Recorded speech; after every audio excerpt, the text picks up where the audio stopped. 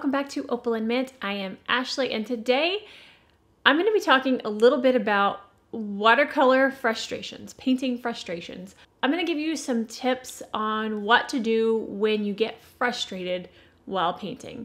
Painting for me is a relaxing thing, but yes, there are times when I do get frustrated and a lot of times it can be your current state of mind that could be causing these frustrations. But I'm gonna show you what I do to kind of walk my way out of the frustrations and back into the relaxing state of watercolor painting. And that's really the entire goal of my channel is directing people to relaxing watercolor. So I figured this would be a really good video to point people to if they are frustrated and need some ways of making watercolor a relaxing and calming experience. Um, I definitely want to paint some today, um, but before I paint, I'm going to talk about one of my recent frustrating experiences and show you kind of how I walk through getting out of that. So, uh, hold please. Okay, so if you are a regular viewer of the channel, you will have already seen this particular painting um, and that I didn't, I was like on the fence of what I thought about it. And this particular painting has been frustrating me. And I, I'm going to show you today how we're going to get out of that frustration. So here is the painting in question. I used this painting in my how I flatten my paintings video. Um, I showed you how to flatten this piece, but it's just, it's frustrating me there's something I don't like about it. We're gonna we're gonna fix that frustration today. But before we dive into that, I want to give you my how many do I have? One, two, three, four, five tips on how to get out of your frustration. Okay, so let's go through these tips real quick and then I'm gonna show you what we're gonna do with this. Okay, so tip number one is stop your painting. Um, that may sound wrong, like I'm telling you to watercolor to relax and I'm telling you to stop. But stop that painting that's frustrating you. So if you're even if you're in the middle of it or you just started and there's something that's just frustrating you about it, stop. Put pause on that particular painting. Put it to the side. Um, because working on it while you're frustrated is not going to help you or that particular painting. So just push pause on that painting. The second thing you need to do is paint something else. So put that one aside and paint something else uh, immediately. Don't go and do something else. Paint something else, whether it's just a splash of colors on the page that makes you happy, it can be abstract, it can be just painting leaves or practicing strokes, but paint something else to get your uh, get you out of that frustrating painting ness. so, step 1, stop it. Step 2, start it. Stop that painting, start painting something else. Um, the third tip is painting something else. Paint something that you know. So paint something that you are familiar with painting, something maybe you've painted a hundred times. Uh, paint something that you are familiar with and know how to paint.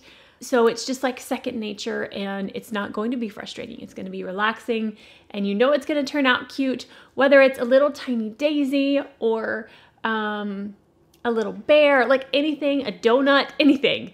Something that you know how to paint and are familiar with, paint that. So stop what you're painting and paint something else and make it something that you are familiar with or something just abstract and swatch your paints. You can just go through and swatch your paints and bump them into each other and let them move, but something that is not going to cause you any mental uh, stress and you don't have to think too much about it.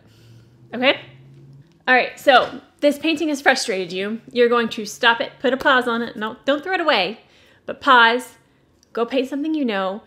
And then the next tip I'm gonna say is look at it with fresh eyes in a couple of days. So don't look at it. Just don't look at it because you keep, if you keep looking at it, which is what I did with this, I like put it like up where I could see it so I could analyze it every second. So I could analyze it like all the time. Don't do that. put it away. I put it up on top of my cabinet where I couldn't see the painting and leave it for two days. Look at it with fresh eyes in a couple of days. and you're probably gonna see it in a different way. Looking at this now, I don't hate it as much as I did. Uh, looking at it, there's things that I really like about it. And so it's not, when you're in the moment, you, you're not really gonna see it quite like it is. So um, sometimes you just need to pause and put it away for a couple of days, okay? And then my fifth tip, this is silly, but eat a cookie. if you're getting frustrated with your painting, eat something that you enjoy, just a little bitty snack. Um, sometimes it can help. I'm not saying pig out on food while you're painting, but every once in a while, if you're frustrated with a painting, you need to put it aside, paint something else, and eat a cookie. so those are my main tips, but we're gonna get into specifically with this painting what I'm going to do to help alleviate some of that frustration and stress with this one. So with this particular one, I decided to start over. Okay, so you can do that. This is a, technically it is a finished painting. It's not exactly what I wanted, so I'm gonna start over. I did, I worked through frustrations and I kept painting and I think I took it too far. um, I don't know, there's something about it I don't like. And so I started over and here's where I am right now. I've got, I'm two layers into this.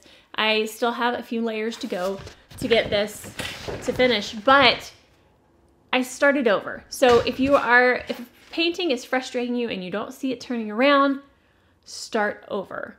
Um, what we're gonna do today though, I've decided I'm starting over and the new one is the painting I'm going to hang. This one's working, okay? Um, so this one, I have decided, this is not, I'm not using this. Um, sure, I could give it to somebody else, but I'm not, I'm not 100% happy with it. So this is, I'm not to say it's trash, but I'm going to treat this as if this is going to be a therapeutic tool and a testing tool, okay? We're going to keep painting on this, and I'm going to try painting different strokes on it to make it a different style. And this will also testing and playing with this painting that I've decided is not the one um, will help me when I'm finalizing this painting over here. So identifying the things I don't like about this, the frustrations I had with this, fixing that and putting it into the new painting. Okay, so I'm gonna put the new one over here. We're gonna we're gonna set that one aside and we're gonna come back to the frustrating one and we're gonna play. So I'm gonna turn the camera around and basically I'm gonna do some like bold brushstrokes in these tiger lilies and um, with no fear of ruining it because I'm already not going to use it. Um, having that that fear of when you're deep into a painting, that fear of ruining it can can sometimes hinder what you're willing to experiment and do. So, we're going to use this as a tool to experiment and learn and play. And I'm just gonna go crazy on this painting, paint it, make it a completely different style, paint some brush strokes that are opaque, and yeah, that's what we're gonna do. So let's flip the camera around, let's play with this, and let out some of our painting frustrations on this painting. All right, so here is the painting. I think what I wanna start with is putting some bold um, lines just on the tiger lilies. Let's see here. All right, so let me open up my paints. I have used a lot of the orange um, on this painting. Well, on both paintings, actually. Okay, so get the paint ready. All right, and then I have this little mixing palette that I've been using. And I think I'm gonna take some red to mix in with my orange and I want to, because I want a deeper color. Um, but I still want it to be vibrant. I don't want to dull it down. Uh, let's take this orange next to it too. Okay, so we're just gonna, we're gonna go in and see what happens. So I have a script brush. This is a size two from Master's Touch. And I'm just gonna I feel like I needed like a different color even. Like I want to make it bold. So, hmm, how can I make this fun and different and just completely change this painting up? I'm gonna add some black. I just made brown. Maybe that was a brown. Get the orange. Yeah, that looks brown.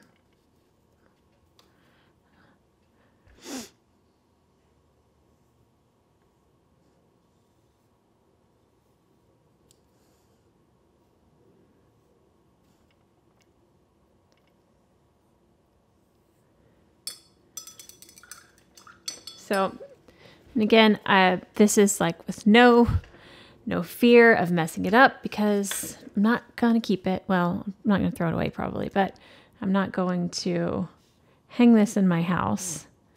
So I just want to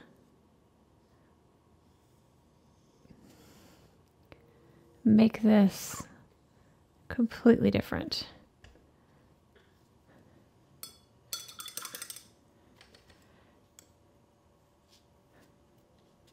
Here, let's get let's get more bold with it here.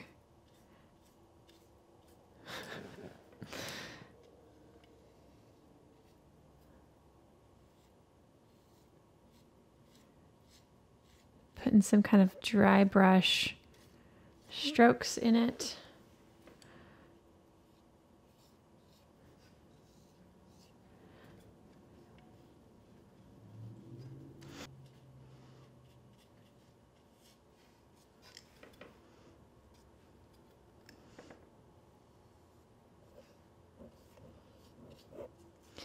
Think um, I've been filming the process of me painting the new one, so I'm probably going to piece together something to show you how I end up painting this. So if you're curious what I end up doing differently, um, stay tuned because whoops, when I do finish that, I will probably post something. But um, I would love to know, as I'm painting this, let's talk a little bit. Um, I would love to know in the comments what you do when you get frustrated. Do you just get mad and walk away from painting? Um, do you have something that you do to process and go through your frustrations of painting to where you can bring it back to a more enjoyable state?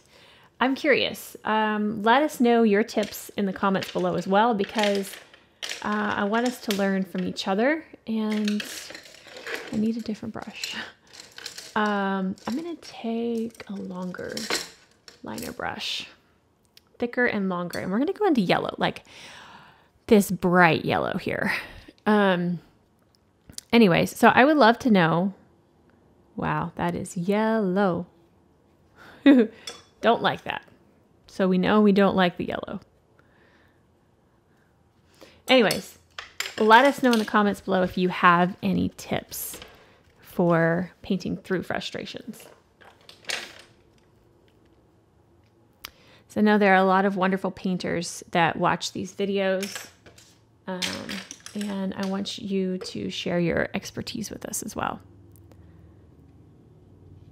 Okay, so let's go to this one over here. This one was meant to be a little bit more in the background, so I don't put as much detail on it.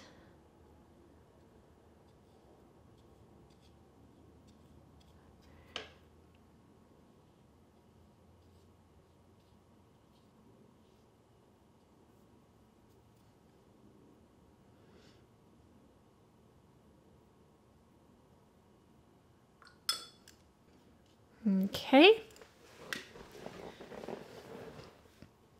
So, um, I actually don't dislike the bolder strokes, especially like looking at it through the camera instead of like up close. Um, I might incorporate some of the boldness in my other painting. We'll see. Uh, let's see. I want to see if I can make this center part deeper. I think that's where I kind of messed up is I messed up the deepening in the, like where it is. So I'm going to put some water down here. And I know I said I was going to get crazy and bold, and it's not that bold, but It's different. Um, and then I'm going to take a little bit of, I don't know what color this is. We'll just take some of these browns and maybe the black as well and just kind of tap in some depth in the center of this. Kind of little strokes going out. And one thing I did on the new painting that um, I think is going to help a lot is the stamen. I guess that's what they're called coming out. Um, I did those in masking fluid and I'm going to paint those last. So when I'm done with all of this, I will be able to paint those in.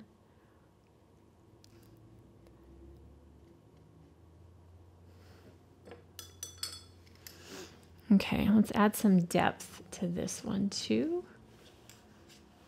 Just kind of put some water here. I feel like I want to, oh, look at that. I just, I love, I like watching colors move. Um, I forgot what I was saying. Yeah, I completely forgot what I was about to say.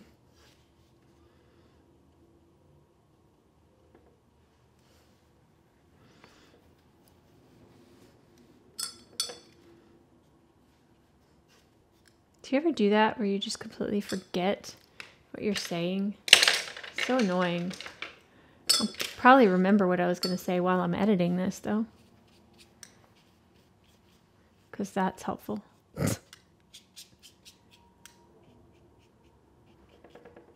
yeah, I think I like adding the depth in the center.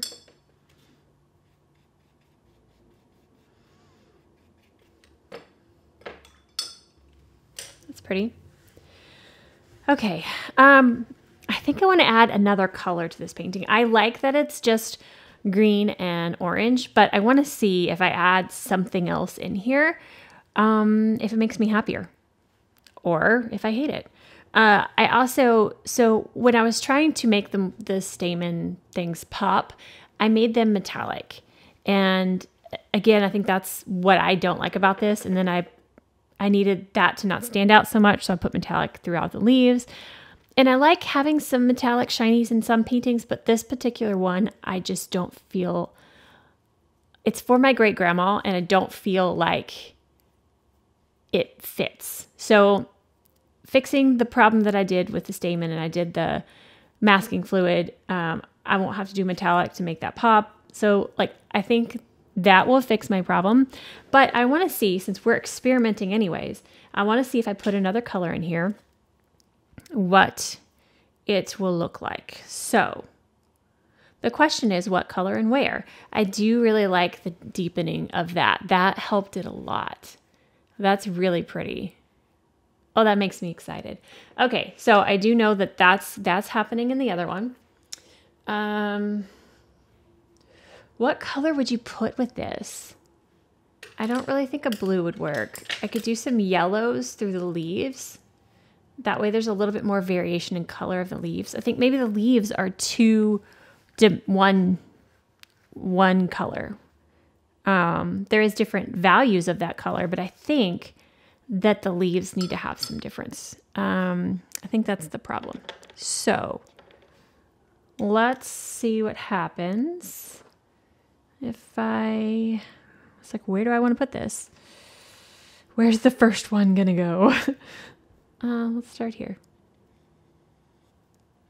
Let's let's just I'm just gonna again we're experimenting, and it might be that I take a little bit of green to put in the yellow leaves. Just kind of touch a little bit of green to that. Let's see. Pretty. Yeah, I think this is just going to add a little pop of vibrance and contrast, just a little bit different in the background. Yeah. And I think I'm not going to go as dark with the green um, around the flowers. let's, okay, and then we're gonna touch a little bit of green in some of these.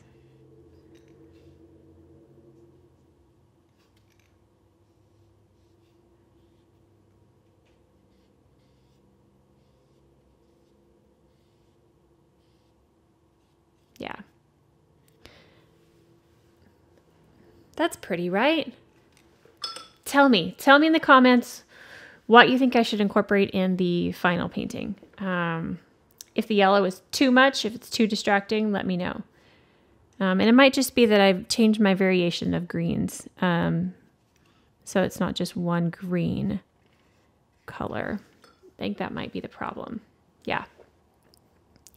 Okay, so um, I don't I don't want to spend too long on this video, but I I just wanted to kind of walk you through um, how I walk myself out of some frustrations. And again, if you have any tips, please let us know in the comments because I'm sure there are some other amazing things that you can do. Uh, these are just the things that that I do, and the main one is identify when you're getting frustrated with it stop and do something else. Stop and paint something else. Okay, so another thing, um, I told you what to do with a specific frustration, you know, uh, but if you're just frustrated and nothing, nothing you're painting is working, and you just you just need color, um, I will show you what one thing that I will do.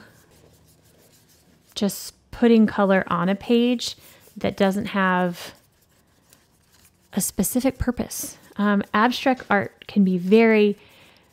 So I like abstract art and I love it hanging, but another th- thing that abstract art is good for is getting you out of your frustrations and getting you to loosen up in your non abstract art. Hope that makes sense. Um, but just putting some colors on a page and playing with color. Just I'm just like diving into random colors. Um and just playing can I love that purple. Just seeing these pretty pretty colors. Um can help get you out of your frustrations and back into like that love and joy of painting. You know? Oh, so pretty.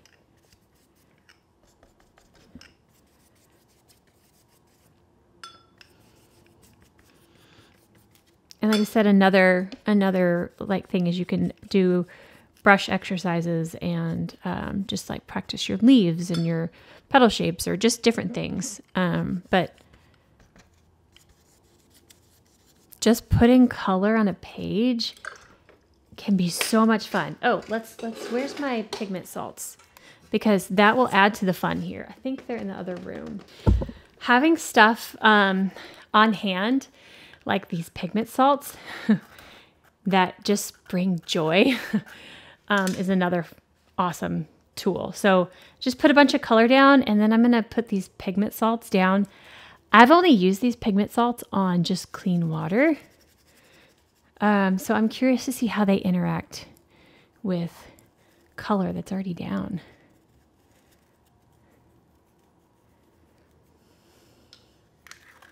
And then we'll maybe like put a little bit more water in some areas. These are color changing pigment salts from Boulder Colors, by the way. Um, so I'm just to get some like water and drip it on some of these. Kind of activate those a little bit more. And then maybe, I don't know, swish it around a little bit. Just play. So if you're frustrated, do something like this. It's experimental, that's just color, that's not you're trying to do an exact shape or anything. Um, just play with your watercolors because it can be so much fun. Yeah, I'm going to let this dry and I'll let you see what it looks like when it's done because I mean, I'm curious. So, yeah, I love it. Okay, so I think that's going to be it though for this video. I I hope this was helpful for you. Um, I've been meaning to and wanting to do this video for a little while, and um, like this artboard very much. Anyways, so that's gonna be pretty when I when it's dry and I wipe all these salts away. Oh, this is fun. Anyways, that is going to wrap it up for this video. If you did enjoy this, please give it a thumbs up. And if you haven't already and you want to see our future videos, hit that subscribe button down below and I'll see you guys next time. Bye.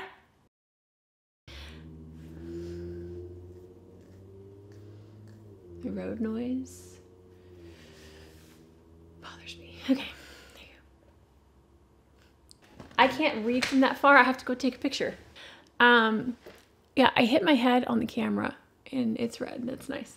Anyway, and again, another, hold on. Oh my gosh, do you have to rev your engines so much?